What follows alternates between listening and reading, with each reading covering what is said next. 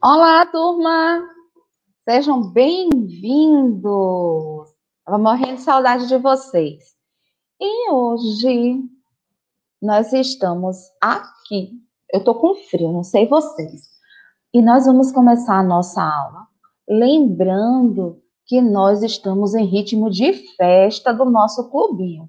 Vocês não podem esquecer disso. Então vamos para nossa aula, que hoje a gente tem muita coisa para aprender aula 34, dia 5 de maio, uma quarta-feira, na nossa área de linguagens.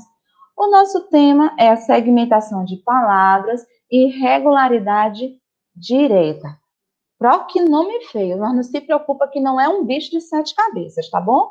Na aula, você vai ver que o título pode até parecer difícil, mas que vocês já sabem do que se trata. Vamos lá.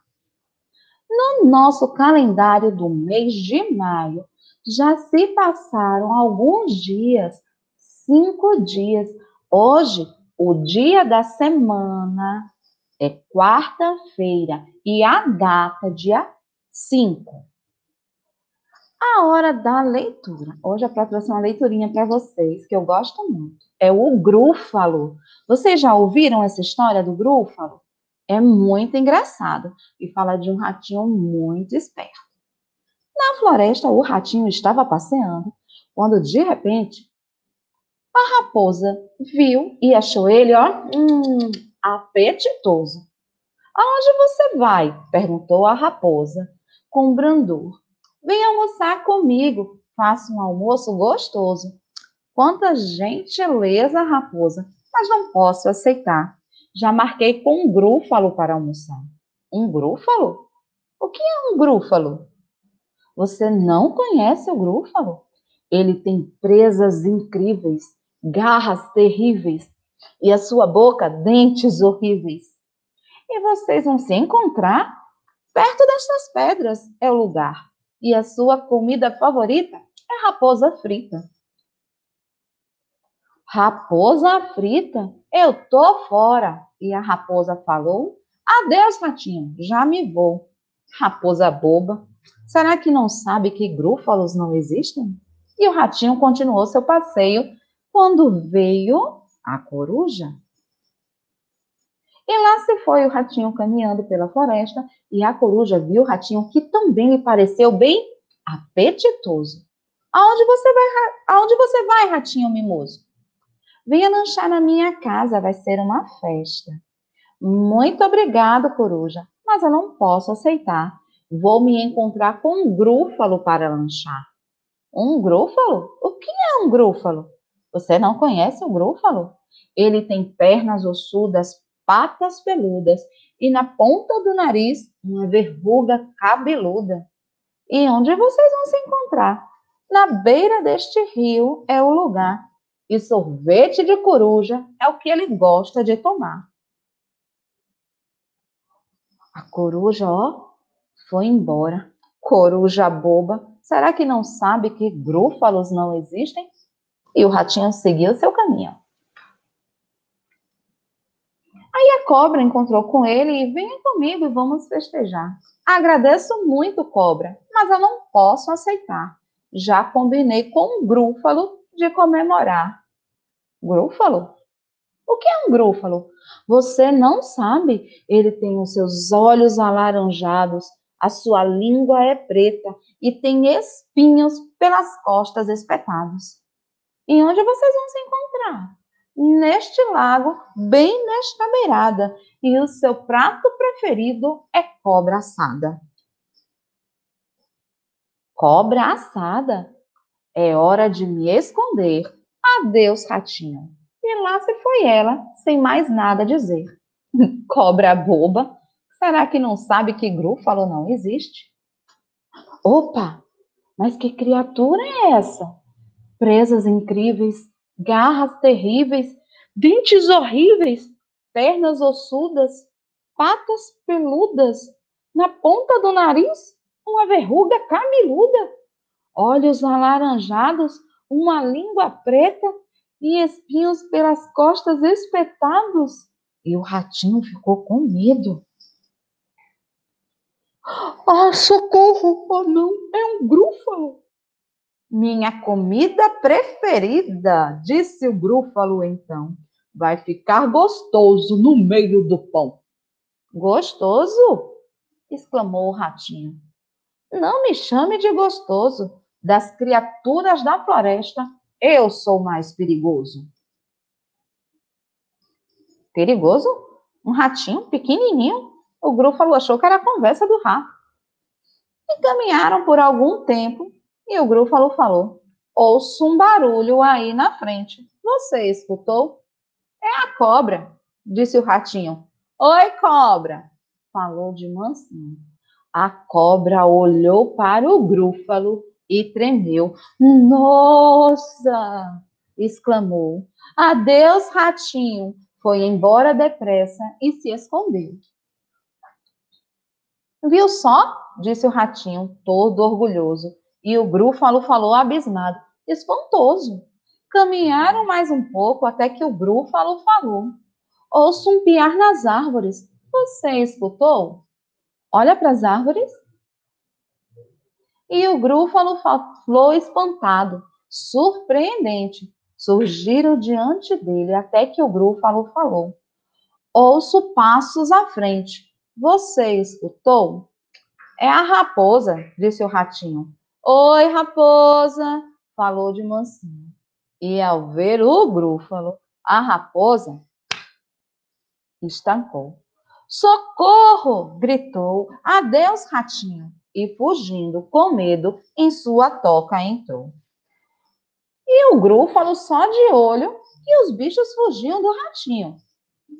Mas agora minha barriga está começando a doer e o meu prato predileto é grúfalo ensopado. O quê? Grúfalo ensopado? E assim dizendo, ele fugiu apavorado. E o ratinho seguiu seu caminho e foi comer nós bem sentadinho. Tudo se acalmou na floresta frondosa. O ratinho achou a noz que ele estava comendo muito gostosa. E aí, turminha? Vocês já conheciam a história do grúfalo? Eu amo essa história. Mostra que a gente, mesmo pequenininho, pode ser bem esperto.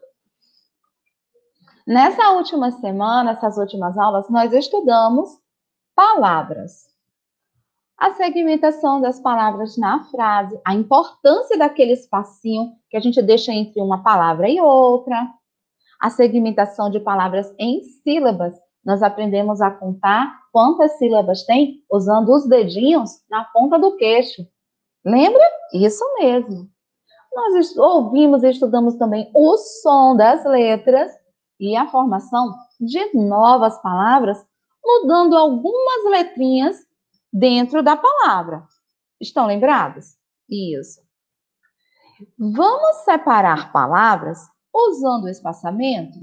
O espaçamento é aquele espacinho em branco que tem todos os textos escritos separando uma palavrinha da outra. E que quando a gente vai escrever com a nossa letrinha, a gente também precisa utilizar. Lembra da dica que a Pro deu? Usar o dedinho mindinho, usar um palitinho de picolé. Isso. A Pro trouxe três frases. O rato foi muito esperto. Fica ruim de ler assim, não é isso? Então, o rato foi muito esperto. Olha só como é que fica a frase.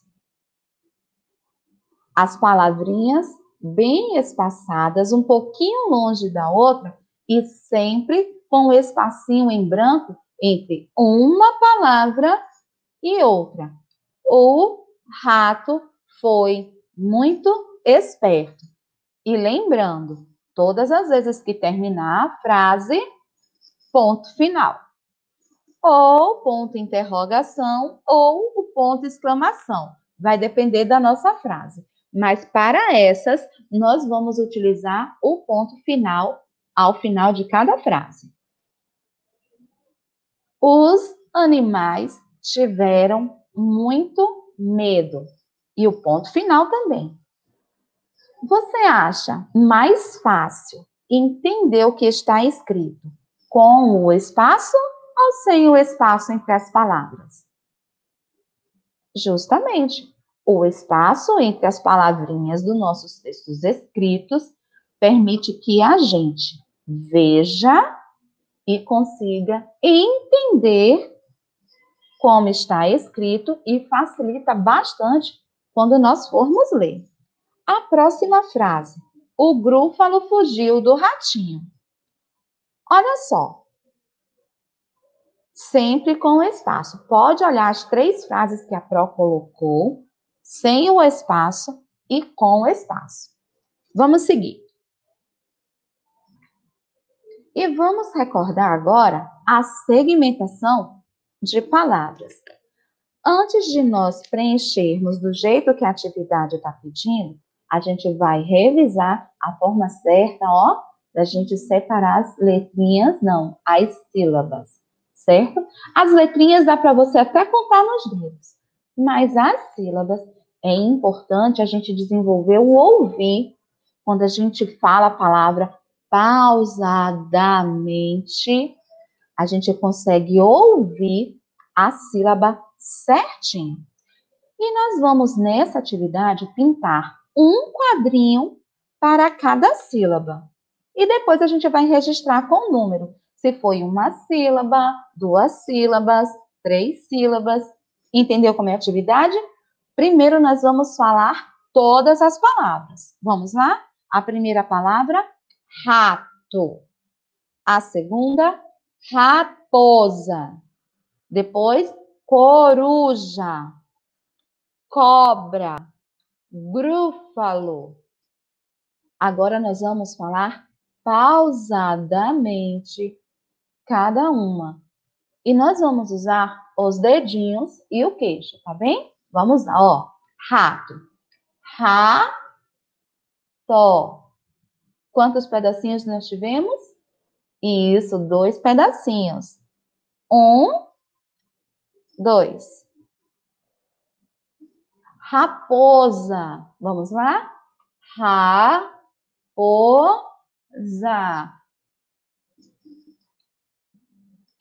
Isso. Três pedacinhos, três quadradinhos, a gente vai pintar. Coruja. Tenta fazer sozinho aí em casa. Isso. Ó. Coruja. Também coruja tem três sílabas, três pedacinhos. Cobra. Cobra.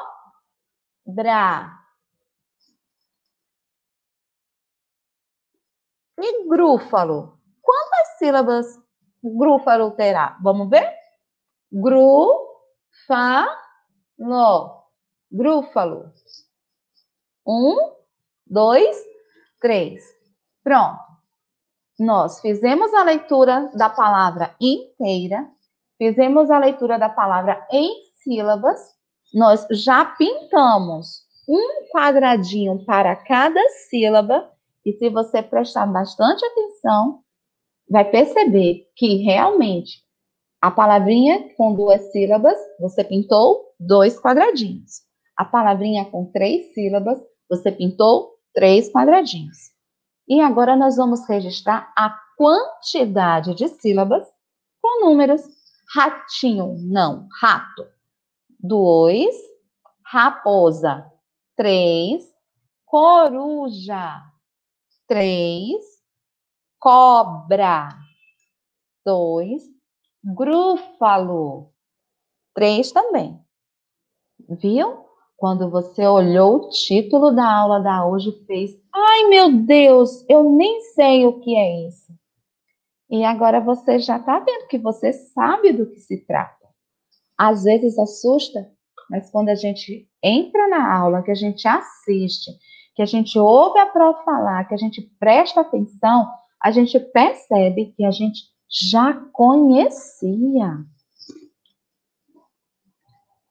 Agora, nós vamos escrever a quantidade de sílabas e de letras.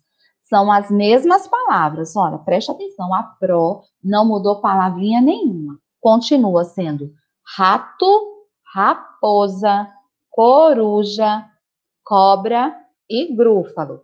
Todas as palavrinhas dos animais lá do nosso texto. Rato. E quantas letrinhas? Vamos contar? Um, dois, três, quatro. Raposa. Quantas sílabas? Raposa. E quantas letrinhas? Isso. Um, dois, três, quatro, cinco, seis letrinhas. Coruja. Três sílabas e seis letras. Cobra.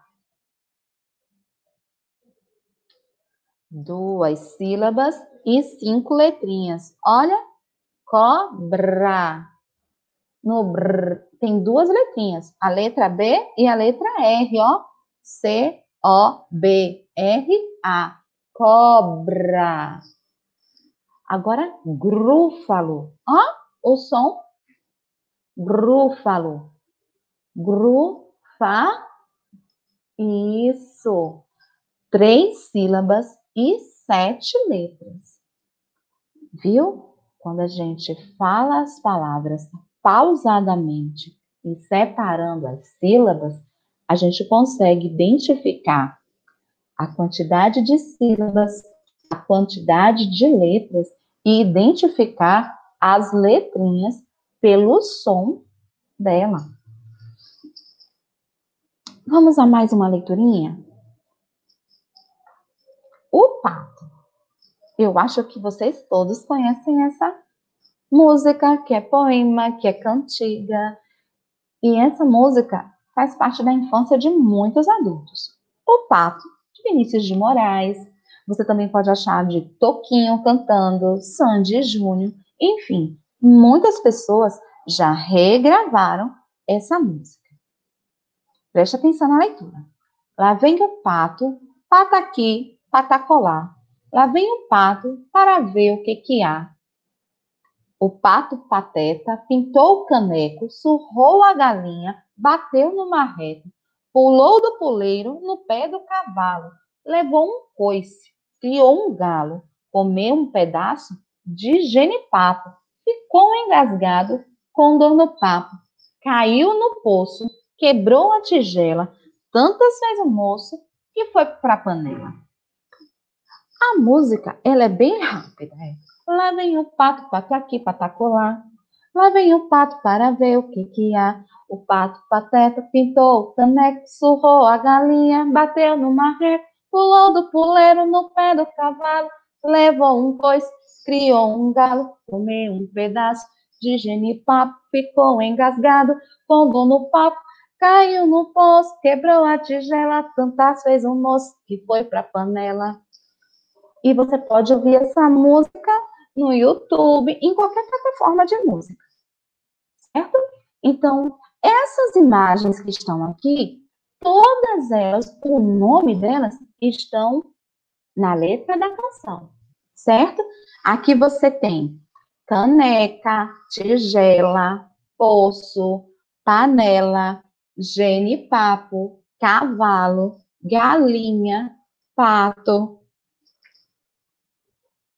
E nós vamos agora encontrar as palavras nesse diagrama. As letrinhas estão todas espalhadas, mas o nome desses animais estão todos aí.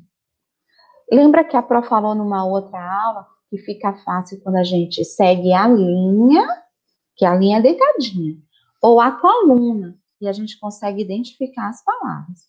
Vamos ver quantas palavras a gente consegue achar, e bem rapidinho, vamos lá? Nós temos a palavra osso, marreco, cavalo, tigela, pato, panela, galinha e genipapo.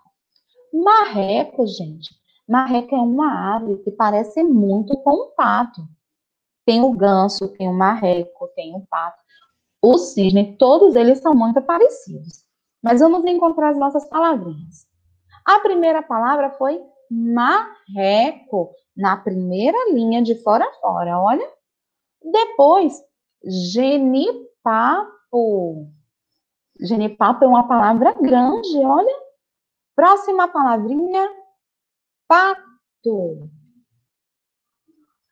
Cavalo. Panela. Tigela. Poço. Esse C, que tem esse sinalzinho embaixo, parecendo uma cobrinha, é o C cedilha e ele tem som de S. Quando a gente fala açúcar, é a mesma coisa de quando a gente fala poço.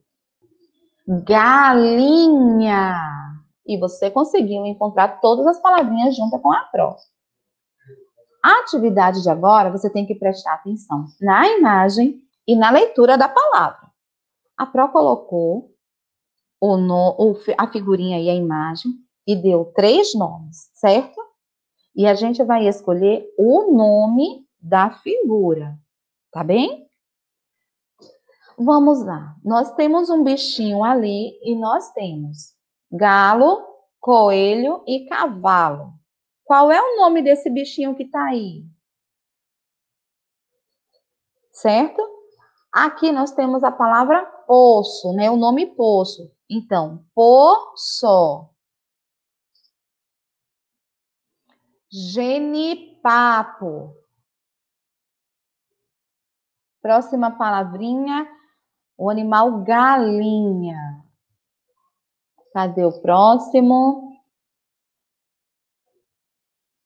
Tigela, cavalo, panela, pato, marreco.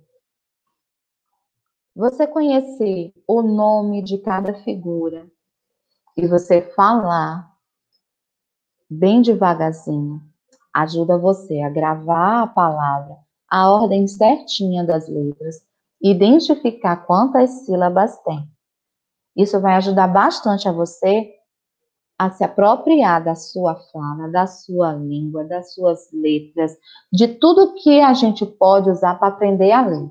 Então, todas as palavras são formadas por letrinhas.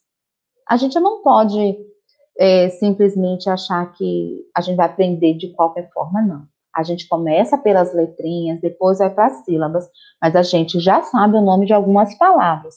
Você fala as palavras. Então, agora que você já fala bem mais fácil as palavras, já conhece muitas palavras, diferente de quando você era pequenininho, o que, que você pode fazer agora? Você hoje pode falar as palavras e tentar identificar quais são as letrinhas que tem na palavra, quais são as sílabas, quantas sílabas tem nessa palavra. E agora nós vamos ligar o animal ao nome. Na atividade anterior, nós escolhemos um nome entre três palavras. Agora, você vai relacionar, você vai fazer a ligação do, da figura lá da imagem para a palavra que é o seu nome, tá bem? Vamos lá. Nós temos de um lado o desenho de um marreco, cavalo, poço, galinha, tigela, pato, panela e genipá. Na outra coluna, nós temos o nome de cada uma e a gente vai fazer essa relação. Marreco, cavalo, galinha, tigela, pato, panela, genipapo e poço pro. Poço não tinha, justamente. Olha só, qual foi a palavra que sobrou? Qual foi a imagem que não teve o par para ser ligado, que não tinha o seu nome escrito. Posso, justamente. E aí agora você vai chegar aí no bate-papo da nossa aula e vai escrever o nome dessa imagem que a Pro circulou. Olha só, todas as outras imagens tiveram o nome para ligar. Poço não tem. A Pro quer que você escreva aí no chat, tá bem? Tá combinado? Vamos lá.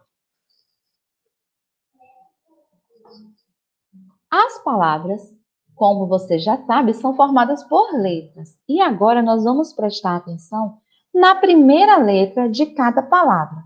Qual é o meu nome? O meu nome é Élida. Élida começa com a letrinha E. E o seu nome? Qual é o seu nome? Com que letrinha inicia o seu nome? Ana com A, Maria com M, Bernardo com B. E a Pro separou as seis palavrinhas da nossa música do pato para nós trabalharmos. A Pro separou cavalo, galinha, genipapo, marreco, pato e tigela.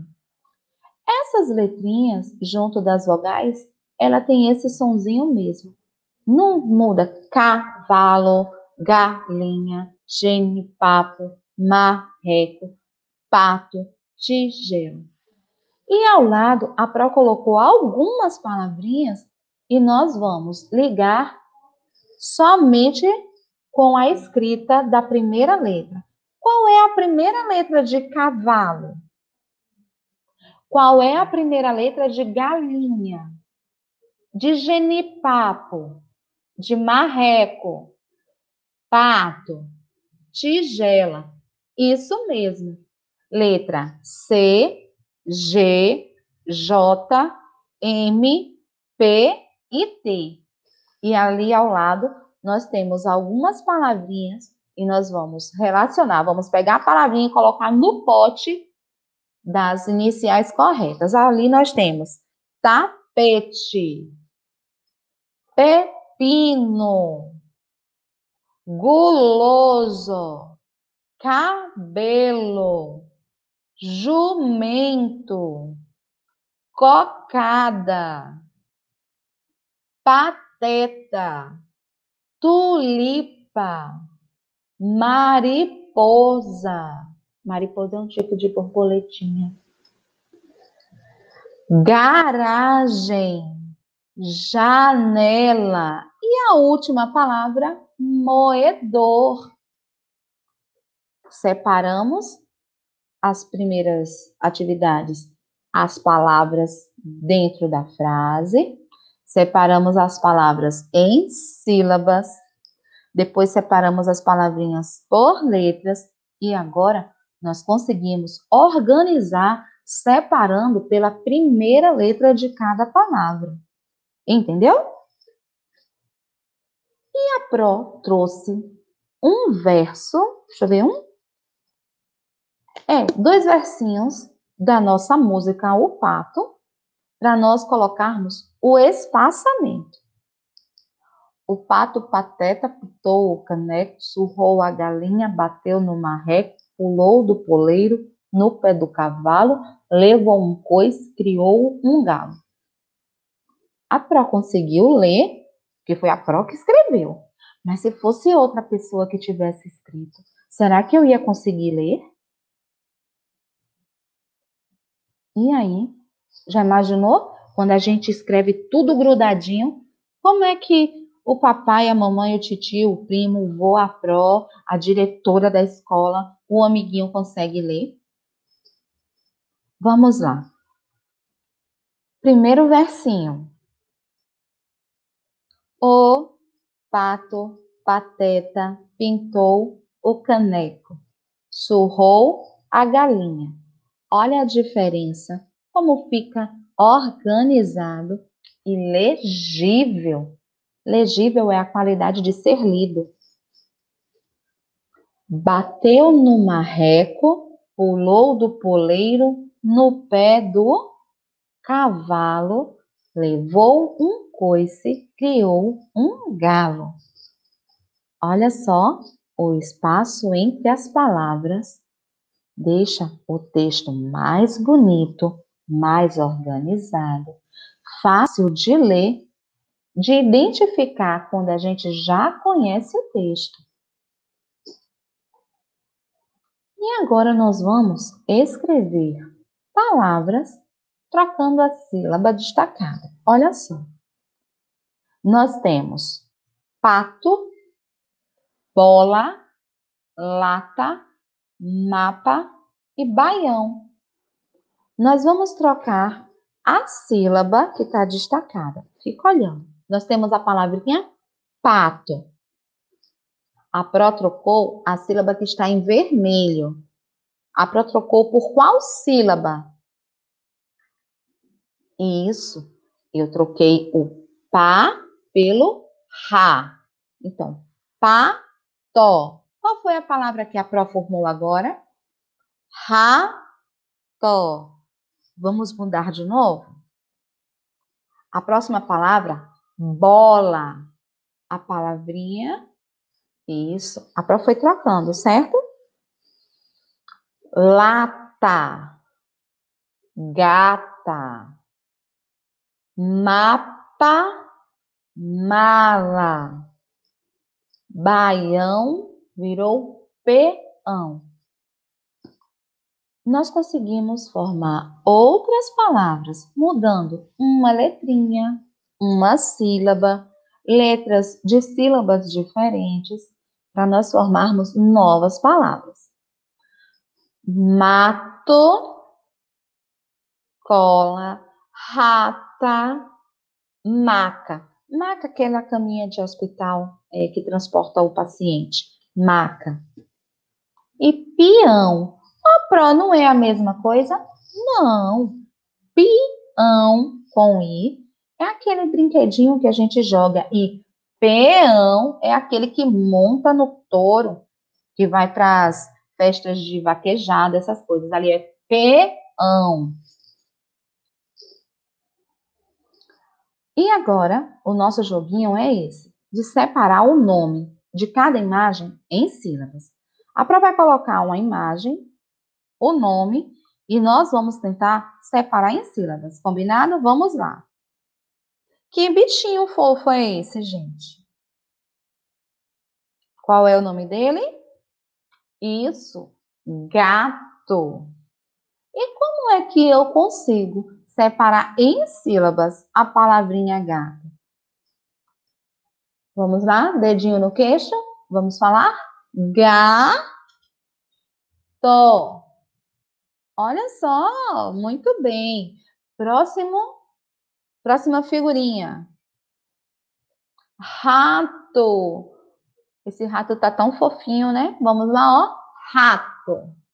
E como eu separo esse nome? Rato.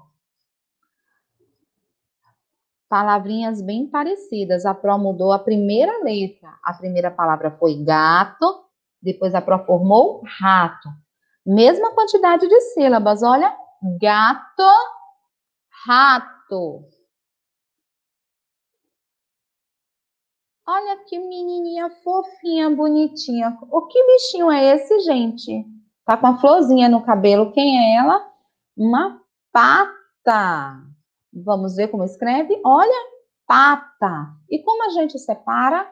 Pata. Isso. Viu? Você fala pausado, usando os dedinhos, e quando você vai separar as letrinhas lá, as palavras em sílabas, dá a mesma quantidade dos seus dedinhos. Por isso é bom a gente fazer essas técnicas, fazer essas coisas que as prós ensinam, porque a gente não esquece mais como separar as sílabas, tá bom? E quando você estiver lá para o terceiro, quarto ano, nem vai precisar mais dos dedinhos, porque você já vai estar tá bem craque na separação de sílabas. Próxima figurinha. O que é isso? Hum, uma lata. Olha a mesma coisa. A primeira palavrinha foi pata e a segunda lata. A próxima mudou a primeira letra. E como é que você em casa sabe quantas sílabas tem lata? Isso. Lá tá. E agora a Pro colocou o nome. Dedo. E a imagem, ó. Vamos lá? A Pro nesse aqui colocou porque geralmente quando a gente coloca a imagem do dedo, as pessoas só pensam na unha. Por isso que a Pro colocou a palavra primeiro. Dedo. Ó, dedo. E agora a Pro mudou a letrinha, mas não foi a primeira. Vamos ver se vocês identificam? Que brinquedo é esse? Que objeto é esse? Um dado. Ó, a Pro deixou a primeira letra do nome no lugar certinho e eu só troquei a segunda. Eu troquei a letrinha E pela letrinha A. E agora, dá, dó. Qual será a próxima imagem? Batata. Isso, batata. Ba, tá, tá. Quantos pedacinhos, quantas sílabas tem a palavra batata? Três vezes. Uma, duas, três. Então, ó, ba, tá, tá. E agora, uma palavra que eu usei. A Pro não gosta muito desse negócio que vai aparecer aqui, não. Olha só. Ui. Barata. É. Dá uma agonia quando a gente vê essas perninhas cabeludas dela, ó. Essas anteninhas. Vamos ver como é que escreve barata. A Pro não mudou a primeira, não mudou a segunda. A Pro mudou a terceira letrinha. A palavra anterior foi batata. E essa é barata. Olha como separa. Ba, ra, tá. Viu? Nós podemos formar palavras novas mudando qualquer letrinha, mas a palavra nova tem que ter sentido, ok? Vamos lá. E o que é isso? Uma panela. Panela. Olha quantos pedacinhos nós dividimos a palavra. Um, dois, três. Panela tem três sílabas. Vamos ver qual foi a palavrinha que a Pro conseguiu formar usando a mesma palavra e mudando apenas uma letra? Vamos ver? Tchan, tchan, tchan, tchan. Janela, ó, janela, panela. Qual foi a letrinha que a Pro mudou? Isso, a primeira. A Pro trocou a letra P pela letra J. Já, né, lá. Viu como é simples e como é fácil? Atividade de casa. Vamos entendê-la? O texto, a Pro já leu na, aqui na aula, eu ia falar na sala, gente. na aula, nós já cantamos. E o que você vai fazer? Você vai fazer essa leitura aí na sua casa com alguém que possa te ajudar. Seja um responsável, seja o irmão mais velho, um primo, quem estiver com você. Peça ajuda para orientar você na leitura. Se você já conseguir ler sozinho, ó, muito bem. Mas se tiver dificuldade, peça ajuda, tá bom? O que, que você vai fazer? Você vai no texto.